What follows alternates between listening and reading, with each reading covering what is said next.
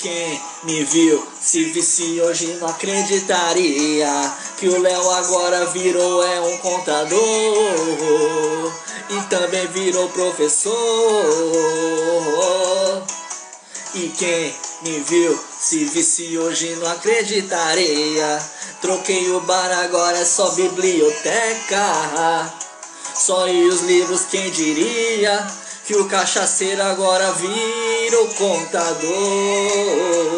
Aí pessoal, chega de música, mas vamos animando para estudar para o exame de suficiência. Eu vou passar. E até o Tiririca passou, você vai passar. Eu passei, Tiririca passou. Se eu passei, Tiririca passou, você vai passar também. Então você vai fazer o seguinte: começa assim, ó. Clica no botãozinho vermelho do, do YouTube, ó, botãozinho inscrever-se no canal, porque só assim você vai ficar sempre atualizado com os novos vídeos que são postados aí pra você. E o melhor de tudo, minha gente, é grátis, é de graça, de graça tem injeção na testa. Então, Curta também a página no Facebook, facebook.com.br TV. E siga no Instagram, arroba contabilidade TVI. Agora vamos ao que interessa, pessoal. Vamos ao que interessa, que é resolver a questão número 23. Essa questão número 23 ela caiu no segundo exame de suficiência de 2016. Bacharel. O assunto é contabilidade de custos. Vamos lá. Questão número 23. Vamos lá, pessoal. Uma indústria fabrica dois produtos denominados A e B e utiliza o método de custeio por absorção para apuração do custo dos seus produtos. A indústria apresentou os seguintes dados da sua produção. Dados: matéria-prima consumida, produto A foi R$ 12,00 por unidade. O produto B, R$ 32,00 por unidade. A mão de obra direta é R$ 30,00 por unidade do produto A e do produto B, R$ 60,00 por unidade. Produção acabada do período. Produto A, 1.000 unidades. Produto B, 1.500 unidades. Custo fixo no período, 60 mil reais. Os custos fixos são apropriados aos produtos na proporção do valor total da matéria-prima consumida. Os dados apresentados representam o volume normal de produção.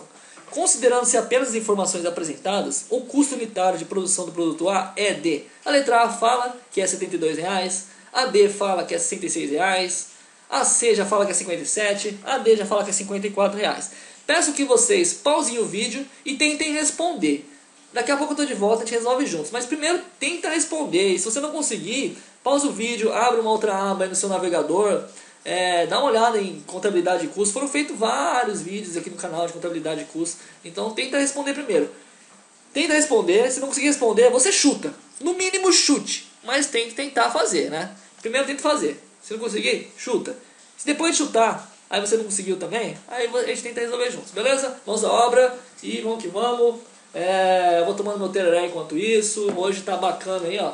Dia de chuva, quase chegando ano novo. Então tô preso aqui. Então hoje vai ser bastante questão, porque hoje eu tô preso aqui e não tem muito o que fazer lá fora. Tem que ficar resolvendo exercício, meu. Vamos que vamos, pessoal. Vamos que vamos. Vamos animando aí. E aí, pessoal, aqui é o Léo, estou de volta. Agora vamos fazer a resolução juntos, né? Como é que foi? Tava fácil? Tava difícil? Bom, para facilitar a resolução do exercício, eu coloquei do lado esquerdo enunciado e do lado direito a resolução. Vamos começar aqui com o passo a passo então, vamos lá. O primeiro passo aqui é o seguinte, a gente tem que encontrar o critério de rateio, né? Que a gente vai ter que ratear esse custo fixo do período aqui de 60 mil reais, que ele deu um valor total ali, mas a gente não sabe quanto que é o custo unitário desse total de 60 mil que vai para o A e quanto que vai para o B. Como que você vai fazer? Bom, o exercício nos fala o seguinte: os custos fixos eles são apropriados aos produtos na proporção do valor total da matéria-prima consumida. Né? Então, como que vai ficar isso aqui? Ó?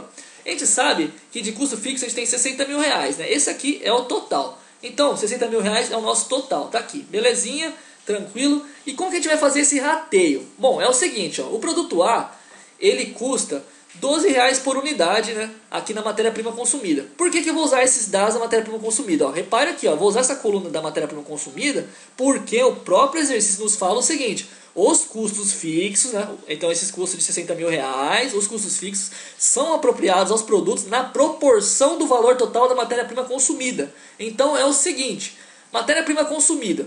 Né, vamos fazer um proporcional, vamos encontrar um percentual, uma porcentagem aqui, para poder distribuir 60 mil para cada produto, para o A e para o B. Então é o seguinte, ó, é, produto A é 12 reais por unidade e foram fabricadas mil unidades, né? Tá aqui, ó, produção acabada do período, mil unidades do produto A e a matéria-prima consumida é de 12. Então, 12 por unidade de matéria-prima consumida vezes mil é, unidades que foram produzidas e acabadas no período, a gente vai chegar no valor óbvio de 12 mil reais. O produto B é a mesma coisa, né? Quanto que foi por unidade? 32 por unidade e foram produzidas 1.500 aí no total, né? Produzidas e acabada. Então, né? 32 por unidade produto B vezes 1.500 unidades produzidas, a gente vai chegar num valor aí de 48 mil reais. E aí, uma conta muito básica, né? 12 mil reais do produto A mais 48 mil do produto B, a gente vai chegar num total aí de 60 mil reais.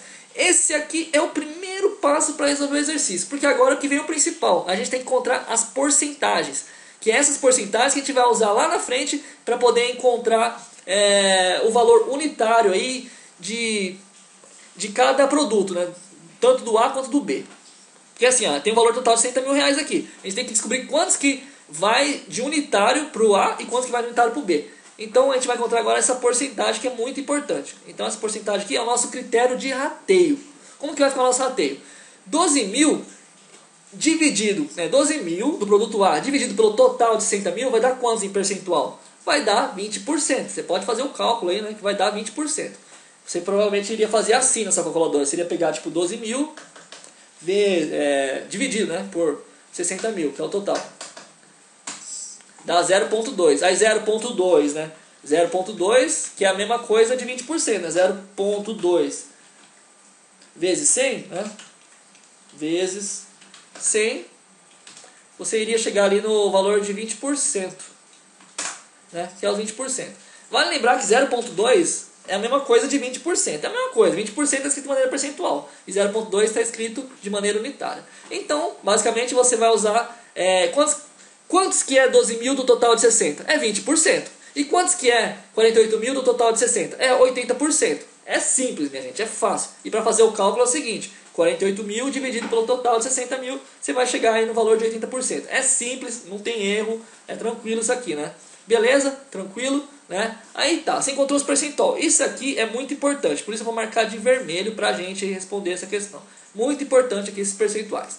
Agora, Matéria-prima consumida, o produto A ele falava que era 12 por unidade, eu apenas copiei e colei. O produto B ele falava que é 32 por unidade, eu apenas copiei e colei, né? Dá um total de 44, né? que é a soma de, do A com o B, beleza, tranquilo. Apenas copiei essa, essa coluna aqui de matéria-prima consumida e joguei aqui, né? tranquilo. Mão de obra direta também já dá tudo pronto, os valores aqui pra gente, né? 30 por unidade do produto A, 60 por unidade do produto B, eu apenas copiei aqui, né? Tranquilo também, não tem erro. É, esse aqui é o total, né? A soma de 60 com 30, tranquilo. Agora a gente vai ter que ver os custos fixos do período, que esse aqui que é o X da questão, né? custo fixo do período. A gente sabe que era 60 mil reais e a gente tem que encontrar agora o valor unitário desse custo fixo. Quantos que vai, é, desses 60 mil reais, quantos que é custo fixo do produto A em unidade e quantos que é custo fixo do produto B em unidade. Como que você faz aqui? Ó? Você vai fazer o seguinte, ó. O produto A, a gente viu aqui em cima que era 12 mil, né? Correto? 12 mil, beleza? Nada mais é do que 60 mil é que ó, 60 mil custos fixos vezes 20% ali, né? Então, 12 mil vai para o produto A e o produto B de custo fixo vai ser 48 mil, que é o seguinte, é um total de 60 mil é, de custo fixo no período. Só que desses 60 mil, apenas 80% vai para o B. Então, 60 mil vezes 80% é 48 mil. Beleza? Tranquilo? Né? Tanto é que se você somar aqui né, o produto A com o B, vai dar 60 mil total. Custos fixos no período, 60 mil. Desses 60 mil, 20% é do produto A, por isso dá 12 mil, e 80% é do produto B, por isso dá 48 mil. Certo? Né? Espero que não tenha ficado nenhuma dúvida. Se ficou alguma dúvida, deixa no comentário, mande um e-mail que eu vou ter o maior prazer em responder. Daí então agora a gente vai ter que ver quantos que vai de unidade para cada produto. Vamos lá. Vamos analisar aqui o produto A. Se o produto A tem um. Se o A e o B junto tem 60 mil e apenas o A é 12 mil, a gente vai ter que descobrir o unitário. Como a gente faz para descobrir o unitário? é 12 mil de custos fixos para o produto A. Só que a gente quer saber o unitário. Quantas unidades foram produzidas? Foram produzidas mil unidades. Então, 12 mil dividido por mil unidades, a gente vai chegar no valor unitário de 12 por unidade. E a mesma coisa no produto B, né? Tem 60 mil de custos fixos do período. Daí, do produto B é apenas 48 mil. E foram produzidas 1.500 unidades do produto B. Então, 48 mil dividido por 1.500, você chega no valor unitário de 32. Agora ficou muito fácil. A gente vai usar o seguinte. Ele quer saber na nossa questão o seguinte: considerando-se apenas as informações apresentadas, o custo unitário do produto A é D. Quanto é o custo unitário do produto A? Vai ser a soma aqui de 12 da matéria-prima consumida do produto A, mais 30 é, de valor unitário aí do produto A, equivalente à mão de obra direta, e mais 12 de custo fixo unitário aí do produto A. Então, 12 mais 30 mais 12 vai dar um total aí de 54. Portanto, aí, gabarito letra D de dado. Né? Gabarito letra D de dado. Tranquilo, ficou bacana aí, pessoal. Fácil, né? Questão facinha. Resumindo, era só você pegar e fazer o seguinte. Você pegava aqui, né? Primeiro você tem que saber quantos que vai... É, tem esse custo fixo do período aqui, de 60 mil reais. Desses 60 mil reais, quantos por cento vai para o A, quantos por cento vai para o B? A gente descobriu que né, 20% vai para o A e 80% vai para o B. 20% deu 12 mil, né? Do A. E 80% deu 48 mil do B. Daí agora, a gente apenas copiou aqui a matéria-prima consumida, que era 12 por unidade do A, 30 por unidade mão de obra direta do A. Né? Essa aqui a gente apenas copiou esses dois dados. E depois a gente apenas descobriu quantos que vai ficar de custo fixo no período para o A. Se dos 60 mil total, 12 mil era do A, e foram produzidas mil unidades, a gente chegou aqui né, em um valor de 12 por unidade, que nada mais é que 12 mil dividido por mil unidades. Daí agora você pega tudo e soma, né?